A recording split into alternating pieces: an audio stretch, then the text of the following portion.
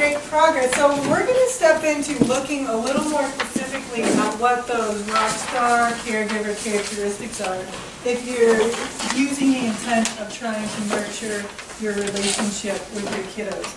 So the first one is response quality. We're going to talk a little bit about what does it look like when it's successful and what does it look like when it's unsuccessful. So obviously successful would be that you're responding promptly and appropriately. If it's unsuccessful when the child's trying so hard to get your attention, you're not responding. The funny thing was, the other night I was, or day, I was in the grocery store and this little girl was in the candy aisle with her mom, and she was saying, she was sitting in the car, you know, those car, grocery cart things, and she was saying, I want gummies. I want gummies, Mom. And her mom said something, wasn't looking at her, had no eye contact, was halfway down the aisle, said something like, uh, we don't, we're not getting those, or I'm looking for the kind we're getting, or something. And she kept saying, I want gummies. I want gummies. I want gummies. I want gummies. I want gummies. And this went on for minutes. I actually stayed in the aisle to just see how long it would take before the mom responded. She actually never did. But the point was, all she had to do was say, you really want gummies. She didn't even have to say why they weren't getting them, but just to acknowledge the fact that this child was trying to get her attention on a specific question. But she literally tuned her out and was just shopping down the aisle. It was fascinating to me. I just stood there and watched, pretended I was shopping for candy too. But, uh, but yeah, I mean, obviously it's not going to be that we can drop everything, but are we being appropriate with our response? Are we just letting kids know, I'm finishing this activity right here and I will be right over to help you with what you're doing. That's being a responsive caregiver that synchrony piece, it's reciprocal and rewarding. Are you doing the same thing? Remember that lady was looking at the flowers with her baby. You know, are you trying to do something and the child's playing something else? That's not building the relationship because you're not taking the lead. We're not taking the time to do the same thing. So that synchrony piece is just taking their lead and doing it together. Um, mutuality, that joint attention, same kind of piece. We're doing it, we're enjoying it. Uh, the synchrony piece also relates to, remember when we looked at those pictures that affect, you know, they're matching. Go ahead. The positive attitude, the positive affect. I mean, the ideal is you have a calm face, a happy face, an approachable face um, for your children the unsuccessful piece would be that opposite. The mom was totally tuned out. She wasn't looking at the child at all. Um, or the other thing is, have you ever seen adults when they're talking to kids and they're really mad at them? But they're talking to them like this? I, I think it's not okay what you're doing right now. I mean, kids can read that. They know. They know you're not being genuine and you're not building a relationship. If you're mad, say you're mad. That stimulation piece, I mean, are you just participating in the play? Are you adding something? Are you providing something that's interesting for them to do so that they want to have that relationship with you? Or the opposite would be, you know, are you stuck, stuck on your phone all the time and they're trying to interact with you but you're not providing that stimulation back? and support, are you just available? Are you around? Can you be dependable? Can you be constant? The funny thing is when we are available to kids, they don't really need to act out to get our attention because they know that if they need us, they're there. My kids know I will always be there to pick you up at school. My kids never had a problem saying goodbye or you know, getting picked up. It was never a concern. There were other kids who it was very traumatic for because it wasn't consistent. They didn't know if their parent was always going to be available. But I'm not ever not going to be there. And if I'm not going to be there, you're going to know, and you're going to know why. So same thing goes for the babies even. So this is just a piece to remind us what we talked about last time about temperament. What we want to focus on is that we need to be aware of our own temperament, and we need to be aware of the child's temperament so that we can make adjustments to create that attachment piece. Because really, when temperament and attachment go together, that's affecting our relationship. It's either going to go good or it's not going to go well. So this is just a little refresher. The attachment is the continuing and lasting relationship with the young children. Um, it refers specifically to the adult-child relationship, their sense of security and safety when they're with a particular adult. Sometimes we forget about that. We can't do anything if kids don't feel safe. Okay, so these are a few videos that we're going to watch. Um, there's three. One that's for babies, a baby. One that's for um, a toddler, and one that's for a preschooler. Yes? Um, if you want to pull it up. Yeah. So the first one is with an infant, and we're going to talk a little bit about what do you see um, in the video? What do you notice about the interaction?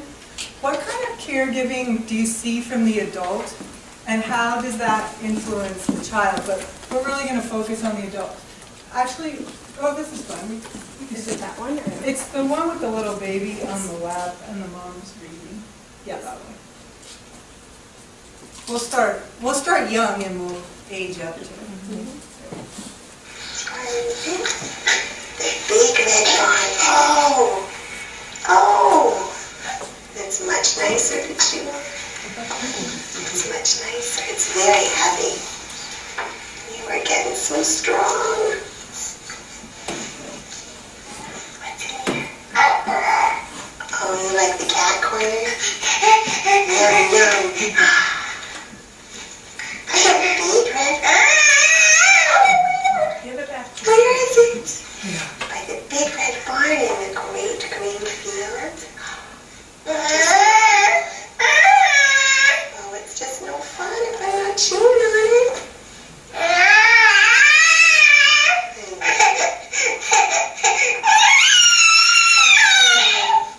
Oh, so much better.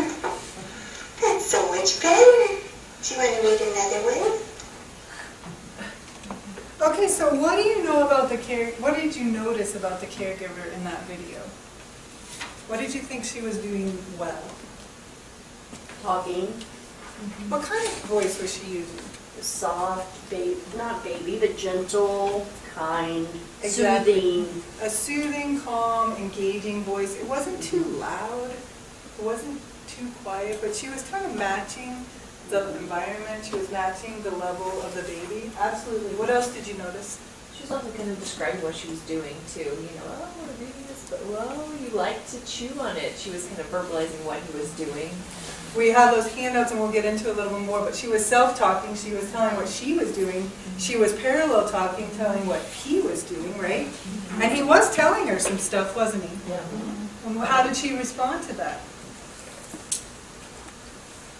You, you, I heard you say it. He was saying, "Give me that book yeah, back." because he knew what he wanted, and she was. And she gave it back to him, right? She she wanted to read the book, silly her. Um, he wanted to chew on the book, and she did let him lead that play. He got to lead it and be in charge, and she followed his lead when she heard him making a protest. Um, and the other thing was, you know, she had a nice body position. She he could see the book and she could look over, so she wasn't obstructing his view. So it was a nice, comfortable um, position, and again, they were touching. Right? Mm-hmm. Um, not that one, the one with the mom on the couch. Yeah. This is my favorite one of all time. Really put yourself in this video spot. Could you do this? Toddlers are my favorite people on the planet. Mm-hmm. And this mom does a really nice job. Let's watch. They open the rest? She's trying to open a fruit strip. Mm-hmm.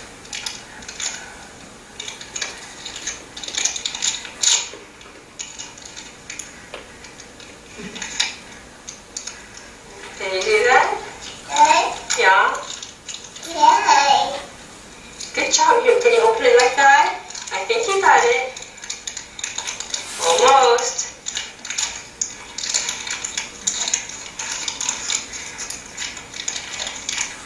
almost. Keep trying. Here, ready? Can I help you? Can Mama help? Okay. Okay. Almost, almost. Do you want Mama help?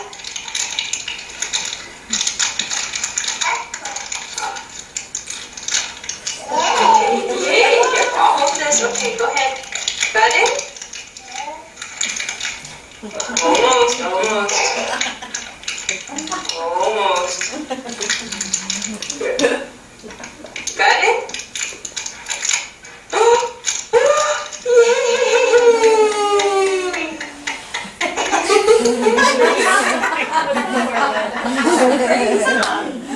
So what did you notice about that I know, right? She didn't just take over. She had tremendous patience, tremendous wait time. I don't think there's many people that would be able to sit and watch a little kid work through a problem on their own like that without trying to intervene or talk. Did you notice she was, she was just quiet? And what kind of words did she use? Almost. And very encouraging. You're doing, you're, you know, walking her through the process, you're making project. And her words, she asked, would you like help? She didn't just say, here, let me help you with that. You know, you were taking way too long. Um, What else did you notice about it? I think she does a really nice job. The little girl had patience too, she wasn't getting frustrated. She was Yeah. persisting and she wanted to do the job. And did mom sabotage that at all? So that at the end, when the child finished it, who felt victorious? She did, right? Yeah. She's very proud of the girl. So proud. And the mom, one of the things that I think is almost most important that we often forget as adults is to celebrate those little mini successes. She's building that relationship with that little girl because she let her try and then she celebrated it with her. So they have that shared connection now. Remember when I had to open that fruit roll up and I, you know, they have a memory because of it, but she, she did a really nice job. Okay, this one is with a um, preschooler. Not that, the, the, the, yeah. I was thinking we could have a party or swimming party. That's not, oh, that sounds like fun. I used to have those when I was little, pajama parties. Yeah, we'd have pizza and stuff, you know, We used to have pizza. I had pizza at the center. at the center. Yep. Is it from the pizza place or does the lady make it? Lady making. We watched a SpongeBob movie. Yeah? Yeah. I didn't see that. How is it? Great. Yeah? Brilliant. Tell me about, tell, can you tell me about the story? Because I don't know anything about it, because I don't have little kids at home to watch this stuff. So, you all have to tell me what's going on. Well, I'll tell you about the stuff eating Okay, go ahead. toys. What happened? They are copying by the house area, in the block area, in the computer, in the writing area, in the penning area, and We don't have art down there, but that's our studio. Is that the after-school place you go to? yeah, and they get sand, But, and they copying the doors we get but whose is better, this class or the after-school? This class. Why? Cause I like it when Janelle was there, and Rita, and Miss Ellie. Okay. So, so what do you do there? What do you do there?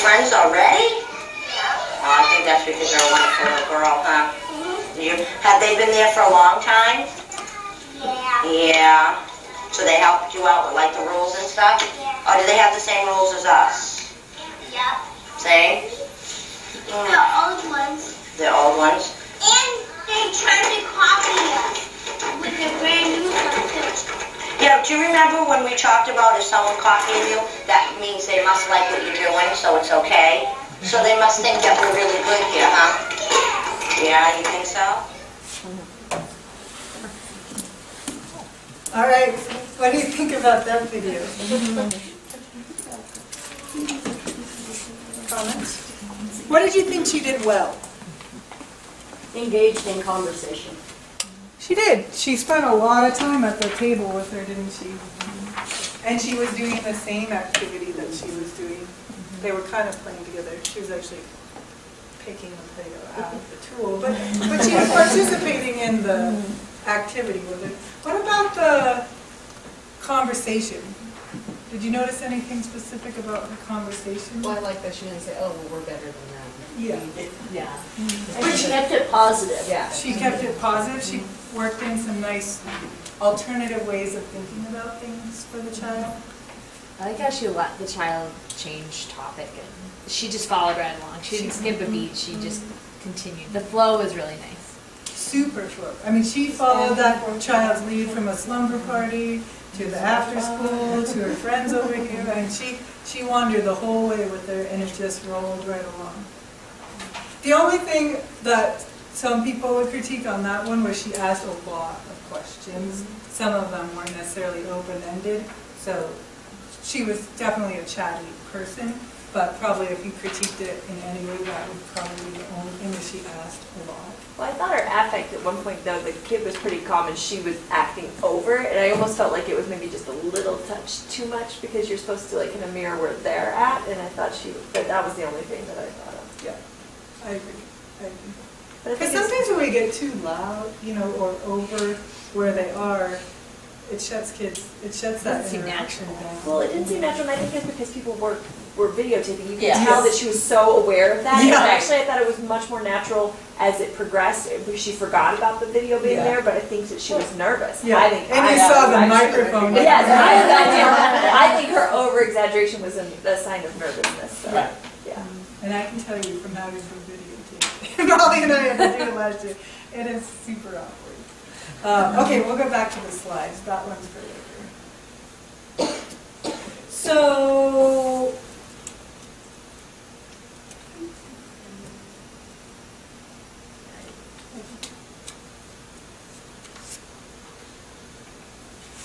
Okay, so we're going to get into the communication piece and exactly what words we're saying. And this is kind of what we started talking about last time when you asked about how we can rephrase the no, stop, and don't. So we need to teach children, they can learn when we learn to understand what children are communicating and listening. We need to know whether they're talking or not. What are they really telling us? And we need to be in a place where we can listen to figure it out. Because all of those problems, that, you know, situations that we had with the dolls, we needed more information. So if we're constantly leading the, leading the scenario, doing all the talking, telling kids what to do, we don't have that, that observation time to listen to them, to find out that that little guy, he came to tell her he needed a squeeze. And if we're always running the show, then we're not enough ways to do it. So I'm going to pass this out. It's actually from the um, TACSEI website, but it's a way, it's instead of saying don't run, you can say use your walking feet or stay with me or hold my hand. And then it also has another column that's a reminder, which is awesome because sometimes we forget to say, way to go, or I like how you're walking right now, or thanks for using your walking feet. Um, so hopefully that helps um, as a little reminder. Um, but we're going to get in a little more to what that communication piece looks like. I'm going to not spend a whole lot of time on it just because you have the slide, but this just goes through each age and what their communication means. So for a very newborn infant, their communication is just them becoming interested in others and needing attention. And what does that look like? They cry, they smile, they make sounds. And why do they do that? Because they need to protest things. They need to express distress. They need to request things. Um, so we can follow this as kids get older. When they're getting older, they are starting to talk to you with that babble piece. They can, 12 to 18 months, they're starting to crack that language code and saying those single words. But they're talking for the same reasons that you and I talk about. They're just not having as many words to draw on. Their vocabulary isn't as deep. When they get older, they're starting to pair those words. 18 to 24 months, we'd see those two or three words because their burst, two to three is when that vocabulary is just growing by the day and they're using it to communicate. They want to begin chatting. Um, two to three, now they're talking more in sentences. They're asking those why questions. They're trying to figure things out. They want to tell stories. They can get into that dramatic play because they have the imagination. Now they're being able to express their feelings. Words and communication become a whole new ballgame when you're at two to three. And when you're three to five, I mean, they're taking turns, they're learning to talk, and they're using their words to think, learn, and imagine, not only in the present, but they can talk about what happened last month, they can predict or talk about something they're excited about in the future. So you can just see how that communication piece swells, and it's our job to support them where they are on that, on this continuum. This one is a video that we're going to watch. It's just super funny. I don't know if you've seen it. It's been on social media.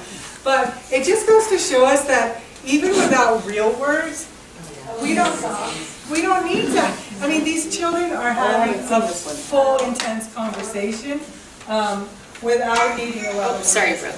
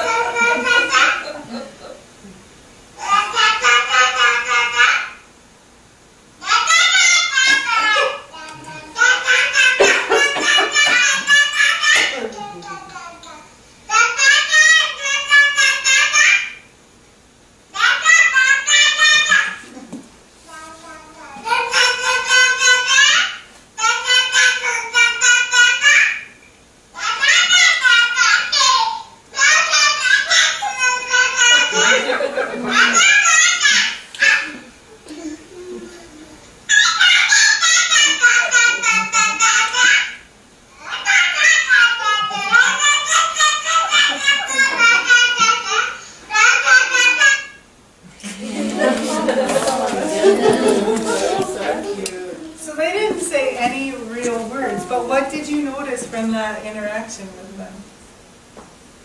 Imitation They, they were They imitating. love to imitate. They were also, they were mirroring a lot, but they mm-hmm. were actually following fairly conventional social rules for communicating, right? He talked, then there was a pause, then the other one would say something. The one that you weren't facing, yeah, they used arm gestures, body motions. The one that was on the left, he, did you notice his voice? He would, he actually mimicked an adult, I have a question. Yeah, the inflection of his. And they used their gestures, like, I'm going up, you're going up. And then they really took all the social conventions that we would want kids to pick up. It just didn't have the words yet. But they had a full-on conversation and enjoyment out of it, so. So the next section that we're gonna talk about is making deposits. And it was our trivia question. Um, a lot of you marked ten, it's actually five, Well, you could shoot for ten, I think that's a good one. But Lori and Dee Dee actually put five. So I Vanessa Drew went out and, Dee Dee's the official winner because we just did a drawing. Um, So your prize today is some Play-Doh. Because I actually think Play-Doh is a fantastic activity for building a relationship with a kid. It's a nice, solitary, open-ended activity, and I know myself, I felt like you really make a connection with a kid. It's easy for them to lead that play and take it from where they want to go with Play-Doh. Um, So, congratulations, and good work, both. Can I say something real quick about Sure. Play-Doh? My grandson, uh, Mido, we were playing Play-Doh, and he's learning his words. He is three, and he, instead of saying frustrated, he says nervous. And who knows where he got nervous? Nobody even, we don't know, none of us say that word. Miles, Kara, none of us. We don't know where he came up with it. So we're playing Play-Doh. He says, Mimi, you make me so nervous. and it was all over Play-Doh. And I love uh-huh. Play-Doh because it is just like that. They say things and their mind is just going. Yeah. So I just want to say that. But this concept of making deposits is actually one of the most critical pyramid strategies that you're gonna learn, and it's something that will get referenced over and over again. Without this foundational piece of positive language, you're not gonna make any inroads with kids. You really just aren't. And what we've come to find from research is that this five to one ratio is imperative. And it's really a time of reflection for adults. If we're not giving five positive statements to a kid before we make a withdrawal, and we're gonna talk about what a positive and negative statement look like, but if we don't do that, we're not, we're emotionally draining a kid to the point where they're not invested in that relationship with us. And that we're, with these deposits, we're giving attention when the child is engaged in appropriate behavior, when they're using that walking feet. When you notice that little girl comes and gets you, holds your hand and brings you over, that's the time to make a deposit. That's the time, when that little boy uses a big boy voice, even though normally we would just expect it and not say anything about it, that's the time to make a deposit. It's our job as, as adults to front load these kids' emotional piggy banks as full as we can get them. So when we need to make a withdrawal, if we need to make a draw, withdrawal, we're not bankrupting them emotionally. The test questions, that's what I was talking about a little bit with that lady. We'll get into it in the next slide, but test questions are asking kids things on the spot. A lot of times it's something they already know. Penny, what color is this timer? Mm-hmm. Blue. What's this? What color is my phone? Parents do this all the time. If you're asking a kid a question that only has one answer, it's a test question. And it actually is a withdrawal from their emotional piggy bank. Our goal is to be giving them an open-ended question. If you need to ask the question because you truly, as an educator, need to know, does Penny actually know her color? Does she know that this is blue? Then that has relevance and importance. But if we're bombarding kids all the time with questions that only have one yes or no answer, or one specific answer about colors. It's like sometimes parents come into my room and they just want to kind of show their kid off or prove that they know things, and they're like, you know, how many water bottles are on the table, Penny? Tell, tell them, tell them, how many water bottles are on the table? And it just, when you put kids on the spot like that, I mean, maybe their temperament is they they don't work well under that pressure, or they're shy. You're, you're taking away from their emotional stability and stronghold. You look like you're questioning me a little, do you not? Well, I'm just. Tell me what I'm you're just trying thinking. to think about it in context, if, if I do that, because when we go places in the van, I always ask them, what are the rules before we get out of the car? But that's not a And it's test the question. same- It is a test question, because I want to have the same response every single time. That's okay, that's setting an expectation. That's letting them know what are the rules. But there's not just one answer, there's probably several rules, correct? But for me to say, Dee Dee, what's this number? What's this number, Dee Dee? And not let it go, that's a test question, you're putting a kid on the spot. You also didn't say, so-and-so, what is the rule, right? You're in the van driving. No, we're in the van, we're stopped, well, we, we get in the van, I ask the same question. Okay, we're going out today, what are the rules? No running off and stay with Danny, and they all laugh. "Oh." And then it's the same thing, you know, before we get out of the van when we're stopped, because if they don't stay with me and then they run off, we'll have a death. Right. You know, we're in the park lot, That's, so. well, A, that's safety. We're gonna But always it's, trump it's with safety. repetitive, it's really repetitive. Repetitive is not the same as a test question, though. I mean, we go through every day, what do we do at circle time?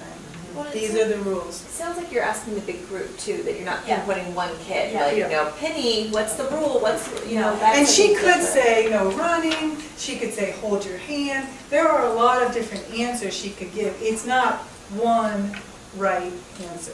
And that's what we're talking about, that kind of test question, where you're putting a kid on the spot in front of other people, and it's like shameful if you don't know the answer. We mm-hmm. don't want to shame anybody. And the verbal demands is the same thing. Sit down. I mean, that's just, we're demanding something of a kid when we can rephrase it into a different way so that it's an emotional deposit instead of a withdrawal, and we'll talk about that in just a second. So here are some kinds of deposits that you can make. It kind of goes from quietest to more chatty, I would say. But the active listening is called soul. It means silence, observation, understanding, and learning, think. Um, but it's basically just not talking and watching and listening. That's actually a deposit for a kid. Just, we're just giving them attention, right? And being quiet and not saying anything so that they can be in charge of that interaction. Playing with them, huge deposit. Getting down on their level, getting on the carpet with them and playing, even more. One-on-one time, sitting at the Play-Doh table and having that little interaction, giving each child that chance to work with you one-on-one is a huge deposit. Giving them wait time. We're adults. We're in a hurry. We have a lot of things to do. We have a lot of things on our mind. Usually, when we ask a question of kids, we want them to answer it or do it immediately, right? But what we got to remember is they're little, and the time it takes for them to A, hear what you said, and then put it in their brain, process what you said, like, let's do walking feet. Use your walking feet. First, they have to hear me, put it in their brain. Then they have to process that. Use your walking feet. Whoa, what does that mean? What does that mean? Where are my feet? You know, I mean, kids need seven to nine seconds just to figure out what you said before they do anything. How many times do adults give kids seven to nine seconds? Not very often. But when you do, that's a deposit, because giving them the time to think and be independent, be confident and in control of that situation. Because if we say use your walking feet, and they haven't started doing it, maybe they were supposed to be walking, and we're already, hey, I said use your walking feet, or, you know, let's go. We've already started making withdrawals before we even gave the child a chance. to do it. And it could have turned into a really awesome deposit, but if we're impatient, it ends up being a withdrawal. Mirroring that same piece where we're doing what they're doing. Self-talk is that same piece where we've been watching in some of the videos where she was saying what she's doing, just narrating.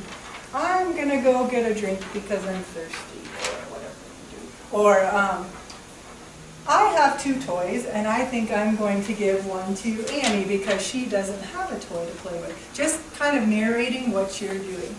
Parallel talk would be the same thing, but you're narrating what the child is doing. And sometimes that's a great way to prevent uh, escalating behavior by narrating what you're seeing and they're doing because you're setting up the stage for them to make a better choice. It's a great tool. Um, reflection are kind of those I wonder statements like, I wonder what are the rules when we go outside of the van? I wonder. That's a great way to ask a question without it being a test question because you're just thinking. I wonder. And there's no pressure to answer because you're just wondering and they might say something, right? Expansion. That's when you're taking what they say, if they're maybe an infant and they say cup, cup, and you say, oh, the red cup. You want the red cup, and you're just adding on one word. And modeling, same thing, where you're taking something that they're doing, maybe you're rephrasing it or modeling it in a way that would be um, appropriate for them. The withdrawals are the no's, the don't, the stops, the demands or making the directions, the test questions like we talked about, the loud voice. Can you hear the people who are taking care of your kids in another room? If you can, it's too loud.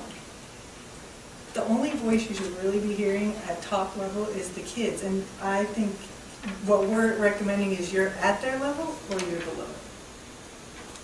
Years ago, I worked for a gal, um, she was actually one of the pastors at my church, and she had the greatest demeanor with her girls.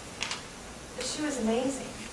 I can remember her picking up her girls, and she'd sit on the step, and she'd talk If she had something that she really wanted them to hear, she would sit down and get on their level, and she would talk really quiet like this. It's a And fantastic it was just like, wow, that was really mind-blowing, to see that interaction that she had with her. Because really, adults' natural reaction when people aren't listening or they want control is to go higher. But the fact of the matter is, exactly That like you said, if you go lower, you're actually more likely to get their attention. Did you have something? No. Um, but, I mean, we have some people, some, we have a gentleman that works, and he's just a vivacious, really gregarious, outgoing guy. But when he comes into our toddler classroom, sometimes it can be, it's very overwhelming for kids, and they actually shut down. And they cry, and they don't want to be in the room, because it's too loud. Especially for those sensory kids. I mean, think about those temperaments of the kids that we've been talking about who don't deal well with the big loud sounds and the bright lights and things like that. We are shutting them out of that whole interaction by being too loud. Um, intimidation and sarcasm, I mean, as adults, we can think we're being funny or talking to another kid, but when we do those things, we are really just pulling some money right out of their little deposit. So here are some other things that we can do to add on to positive interactions. We can acknowledge their communication. They could be an infant, and we could say, "Oh, you're trying to talk to me," and you know, saying we're acknowledging the effort. We can acknowledge that that little girl wants your attention. We could turn it into a positive, the screaming, we really could. Oh, you want help. We greet children by name, we engage in one-to-one at their eye level, the pleasant, calm voice with simple language, not talking too fast. And really thinking about developmentally, where are those kids with respect to language and using that amount of words. You know, if you're with a two-year-old, how many words should you be putting in your sentence versus if you're with five-year-olds? If you're with a speech-delayed kid, you know, you're gonna back off how many words you're putting into a sentence. The warm, responsive physical contact. Um, following the child's leads and interest during play, these all put deposits in their piggy bank. Um, listening to them, encouraging them, like that little mom did when the girl was opening her thing. Um, acknowledging them, that they listen to others. You know, transposing these skills onto other kids. When you see Sully doing it to somebody else, that's another chance to make a deposit because you noticed him doing it not just with adults but with his peers. Um, acknowledging the child's accomplishments. I can tell you, you could get a double deposit by acknowledging that child's accomplishments to someone else in the room. When mom comes to pick him up, you wouldn't believe what Johnny did today. Can you believe that he took this toy and shared it? He tapped his friend on the shoulder. I mean, that's a double dose of banking some emotional deposits for the child. So we need to be aware that we're constantly finding ways to acknowledge their hard work, but when we do it in front of somebody else, it's like double dipping. Considering their needs and interaction styles, like we just talked about, with regard to temperament or their delays, and the cultural, linguistic, and ethnic backgrounds of the child, you know, being really sensitive, that um, having fun with it and praising it, turning it into something cool, that diversity can be a huge deposit, that's something you're finding to celebrate rather than not mention or different is not good. So one of the strategies for just keeping this in the forefront of our mind is giving attention when they are engaging in the appropriate behavior. If they're not getting in the appropriate behavior, we're going to get into this later, but we're going to redirect them or we're going to ignore it. We want to give them more attention for good behavior than they're getting with bad. If you do, if that funny, little girl you gets your attention, Ignore it. That's funny that you say that.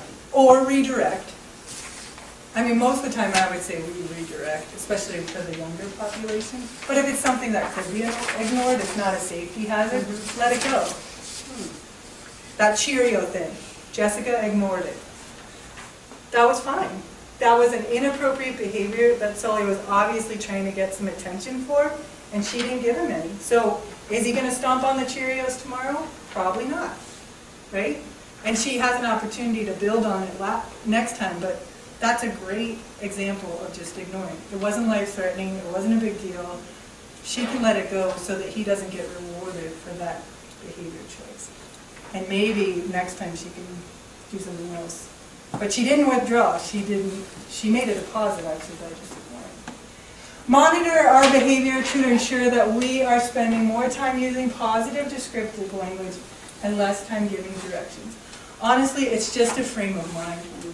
It's just practice. And once you're really in it, you'll never not be able to be in it. And you will notice all the time when people are not in it. But you'll become champions and advocates for it, and you can teach other people how to do it. You can teach the kids how to do it, which actually I think is the most empowering thing of all, is you can be raising this generation of people who just talk positively. Um, and it's not to say that there aren't times to feel heady emotions, but we can handle them all in a positive way, and that, above all, I think is most impactful. And going on what Brooke said, when we first did this, um, I went home and just tried it with Jared. And he was so worried he'd done something wrong because in this world we're so used to that negative language. So I encourage you, take this and go home and use it with people in your home and watch their reaction. It's so wild how as adults we're so used to negative would be great to, instead of those fights you have, it's just a positive spin on everything. I love it. What I really like is the waiting, you know, waiting for the kids because sometimes when I'm thinking and someone asks, well, I have this one in particular, I of it, but we'll have a conversation and she'll ask me something and I'll pause to think about what she asked me and she'll fill in all the blanks. Yeah. And by the time she's done, I really don't have an answer because she's already interpreted what I think I'm going to say. And um, the other thing is the teenagers, you know, when you give them a task, I'm so guilty of this. I'll say, so like after you take out the trash, you know, will you, will you pick up the bathroom and then when you're done with that, that laundry sitting in there and, you know, have five tasks for them to do. Well, for James, he's the last one at home. And he'll go, I lost you at the first one. You wanna tell me, you know, I can't, and he can't.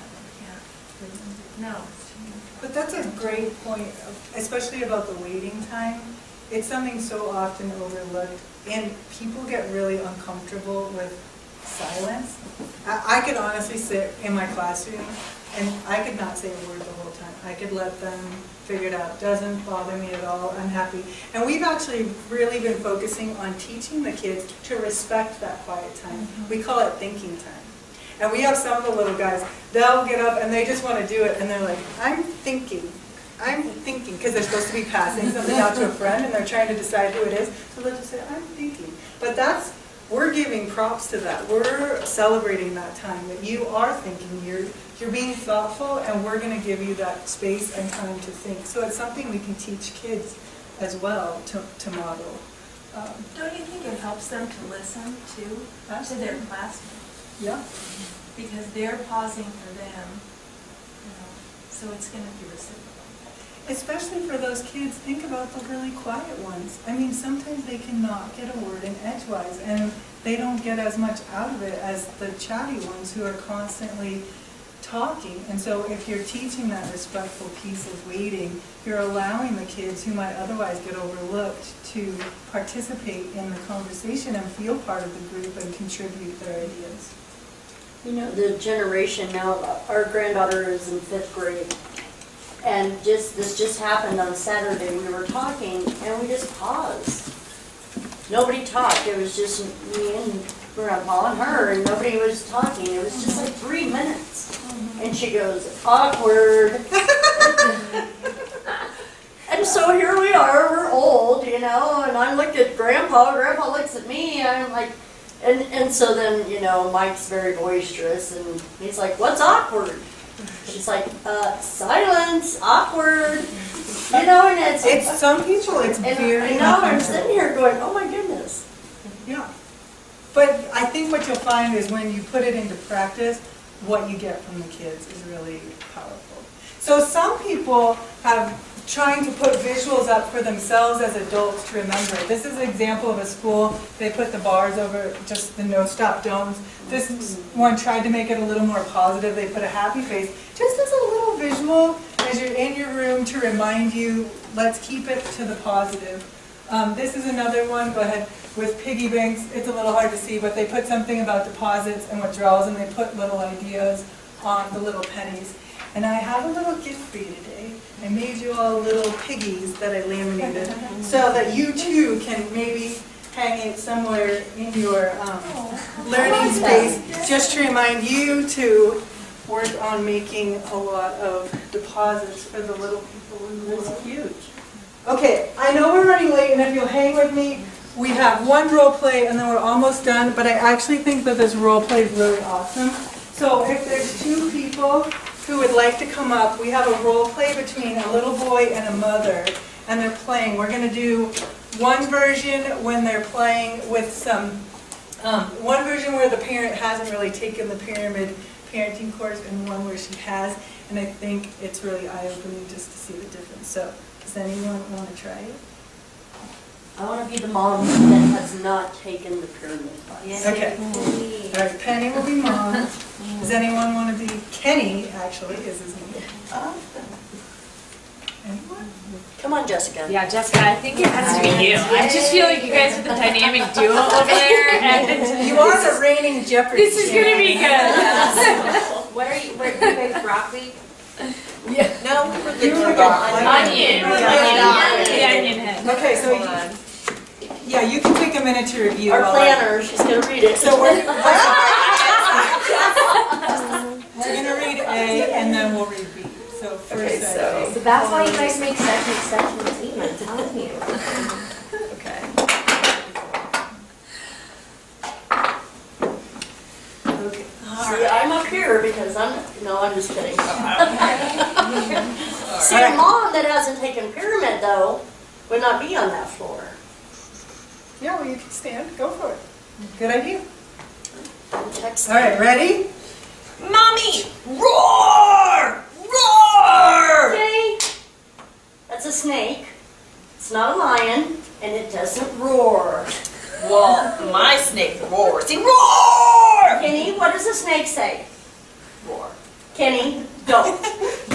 what does a snake say? Stop and listen. What does a snake say? Mine Roar! That's not the thing. Hold on. Hold on. We're, we're off Oh. What? It says, no, this isn't right. The snake says hiss, not roar. And Oh, okay. Makes the lion, okay, so Kitty's making the lion walk and says, roar, roar. That's right. Is that where you were? Yeah. Yes. That's right. You got it, Kenny. That's what roars. What roars? And it says, do you know what a lion's Oh, yeah, what you said. baby? Baby? No, they're, they're called cubs. They're lion cubs. How many do you have, Kenny? Um, one, two, three! I have three! Nope, you missed one. Count them again. One, two, three. What's that one over there, Oh, Kenny? Four. Mom, you mean the lion's daddy. Here. This isn't a lion, Kenny. This is not a lion, Kenny. Oh, but it's the lion's daddy. No, no, this is a tiger. Nope. This is a tiger, Kenny. This is a lion. Do you see the difference?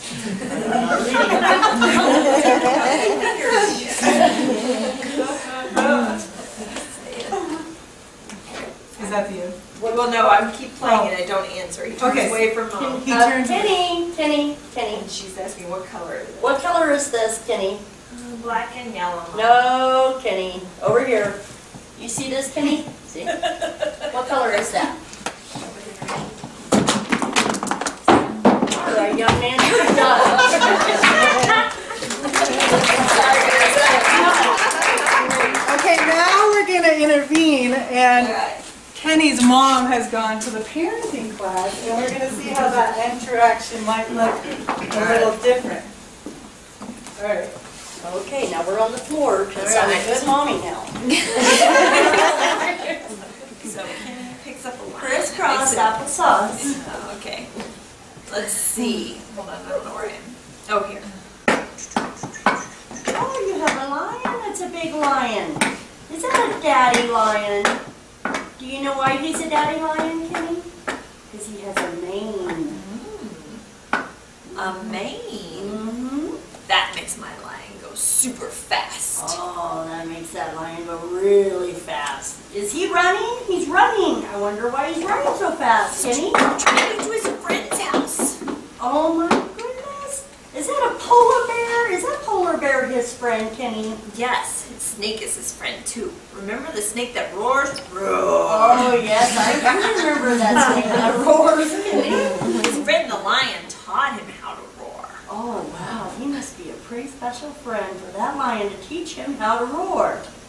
Look, I see one, two, three snakes. Did the lion teach them to roar too? All Yeah. of them? Yes, one, two, three. He teaches all his friends how to roar. He taught me how to roar too. Roar! Oh, Do you I- want him to teach you how to roar, Mommy? Yes, teach him, teach me how to roar. I just love how you roar. Roar!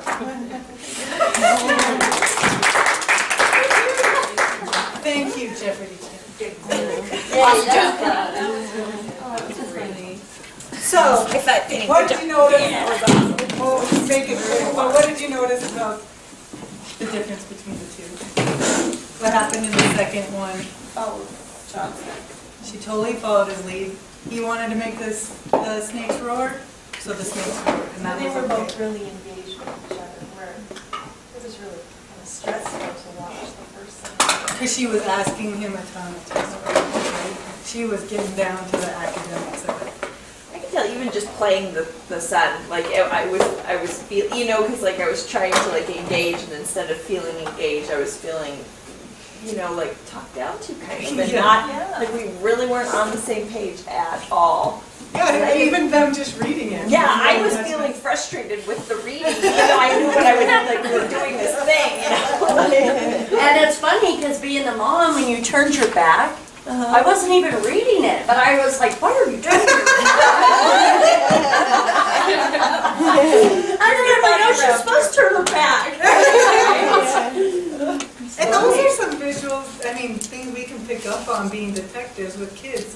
You know, maybe we start down that road of asking a lot of test questions and we can see we're losing and we light bulb moment that we can rephrase things. Yeah, she took his lead. She, maybe she wanted to teach counting, so in the first one, she was quizzing him, no, that's not right. But in the second one, she just did it, one, two, three, and then if so inclined, he counted two. So there's ways to still get to the same endpoint without grilling kids. So I thought it's a really great um, role play.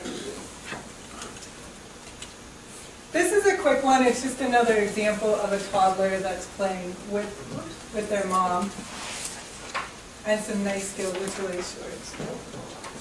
It was that one you had. This one. I think it's number five. Oh, I love that. I know. It's just There it perfect. is. There it is. So we're just going to watch a mom play with her little boy. It's kind of along yeah. the same lines. Let's see. But, oh, oh, that looks really fun. That looks really fun. What is that?